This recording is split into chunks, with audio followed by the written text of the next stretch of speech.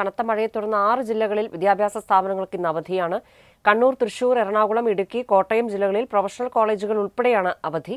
കാസർഗോഡ് കോളേജുകൾ ഒഴികെയുള്ള വിദ്യാഭ്യാസ സ്ഥാപനങ്ങൾക്കാണ് അവധി പ്രഖ്യാപിച്ചിരിക്കുന്നത്. കുട്ടനാട് താലൂക്കിലെ വിദ്യാഭ്യാസ സ്ഥാപനങ്ങൾക്കും ക്യാമ്പുകൾ തുറന്ന പത്തനംതിട്ട ജില്ലയിലെ സ്കൂളുകൾക്കും അവധിയാണ്. A P J Abdul Kalam M G Kannur സർവകലാശാലകൾ ഇന്നത്തെ പരീക്ഷകൾ മാറ്റിയിട്ടുണ്ട്. ഇടുക്കിയിലും കോട്ടയത്തും മുൻകൂട്ടി നിശ്ചയിച്ച പരീക്ഷകൾക്കും ഇന്റർവ്യൂകൾക്കും മാറ്റം ഉണ്ടാകില്ല.